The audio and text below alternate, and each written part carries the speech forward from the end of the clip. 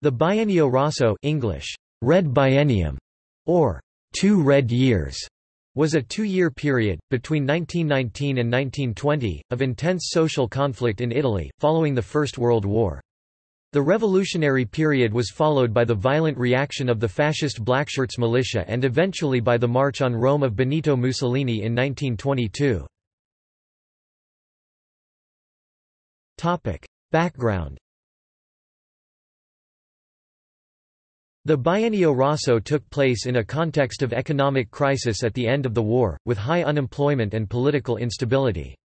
It was characterized by mass strikes, worker manifestations as well as self-management experiments through land and factories occupations. Tension had been rising since the final years of the war. Some contemporary observers considered Italy to be on the brink of a revolution by the end of 1918. The population was confronted with rising inflation and a significant increase in the price of basic goods, in a period that extensive unemployment was aggravated by mass demobilization of the Royal Italian Army at the end of the war. Association to the trade unions, the Italian Socialist Party and the anarchist movement increased substantially. The PSI increased its membership to 250,000, and the major socialist trade union, the General Confederation of Labour Confederazione Generale del Lavoro, CGL, reached 2 million members, while the anarchist Italian Syndicalist Union Unione Sindacale Italiana, USI reached between 300,000 and 500,000 affiliates. The vigor of the anarchists was boosted by the return from exile of the anarchist leader Errico Malatesta. Topic: Events. In Turin and Milan, factory councils, which the leading Italian Marxist theoretician Antonio Gramsci considered to be the Italian equivalent of Russia's Soviets, were formed and many factory occupations took place under the leadership of revolutionary socialists and anarcho-syndicalists. The agitations also extended to the agricultural areas of the Padan Plain and were accompanied by peasant strikes, rural unrests and armed conflicts between left-wing and right-wing militias. Industrial action and rural unrest increased significantly, there were 1,663 industrial strikes in 1919, compared to 810 in 1913. More than 1 million industrial workers were involved in 1919, three times the 1913 figure. The trend continued in 1920, which saw 1,881 industrial strikes. Rural strikes also increased substantially, from 97 in 1913 to 189 by 1920, with over a million peasants taking action. On July 20–21, 1919, a general strike was called in solidarity with the Russian Revolution. In April 1920, Turin metal workers, in particular at the Fiat plants, went on strike demanding recognition for their factory councils, a demand the PSI and CGL did not support. The factory councils more and more saw themselves as the models for a new democratically controlled economy running industrial plants, instead of as a bargaining tool with employers. The movement peaked in August and September 1920. Armed metal workers in Milan and Turin occupied their factories in response to a lockout by the employers. Factory occupations swept the «industrial triangle» of northwestern Italy. Some 400,000 metal workers and 100,000 others took part. On September 3 185 metal working factories in Turin had been occupied. The PSI and CGL failed to see the revolutionary potential of the movement. Had it been maximized and expanded to the rest of Italy, a revolutionary transformation might have been possible.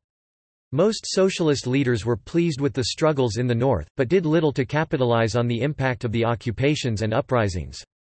Without the support and quarantined, the movement for social change gradually waned.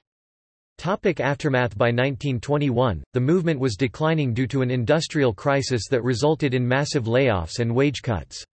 In contrast to passive demeanor the PSI and CGL, employers and the upcoming fascist did react.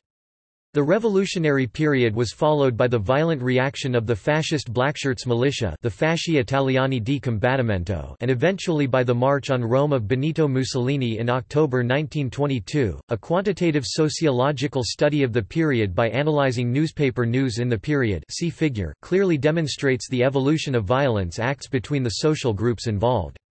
Topic see also Revolutions of 1917–23 Aftermath of World War I March on Rome Benito Mussolini topic References Bellamy, Richard Paul and Darrow Schechter 1993. Gramsci and the Italian State, Manchester, New York, Manchester University Press, ISBN 0-7190-3342-X Neufeld, Maurice F. 1961. Italy, School for Awakening Countries, the Italian labor movement in its political, social, and economic setting from 1800 to 1960, New York State School of Industrial and Labor Relations, Cornell University. Pelz, William A. 2007. Against Capitalism, The European Left on the March, New York, Peter Lang, ISBN 978-0-8204-6776-4 Topic Further reading Giuseppe Maione, Il Biennio Rosso. Autonomia e spontaneità operaia nel 1919-1920 Bologna, Il Mulino, 1975 Giovanni Sabbatucci Accuradi, La crisi italiana del primo dopoguerra. La storia e la critica, Bari, Laterza, 1976 AA. VV, La rivoluzione sconfitte, 1919-20, Accura di Eliana Bouchard, Rina Gagliardi, Gabriele Polo, Supplemento a Il Manifesto, Roma, S. D. Ma 1993 Roberto Bianchi, Pace, Payne, Terra. Il 1919 in Italia, Rome, Odradek Edizioni, 2006 Fabio Fabbri, La origine della guerra civile. L'Italia dalla Grande Guerra al Fascismo. 1918–1921, Torino, UTET, 2009. Topic external links Various texts describing and analyzing the events of the Biennio Rosso at Libcom. Org In Italian Lot opere e contadine nel Biennio Rosso 1919–1920, Rai Scuola